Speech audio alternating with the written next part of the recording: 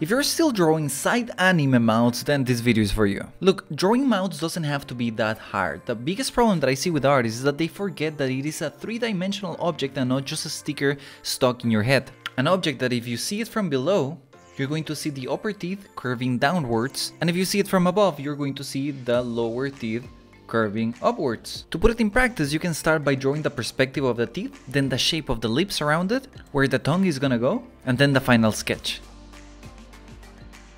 If you like tips like these, check out digitalpaintingmaster.com where I put everything that I know about being an artist.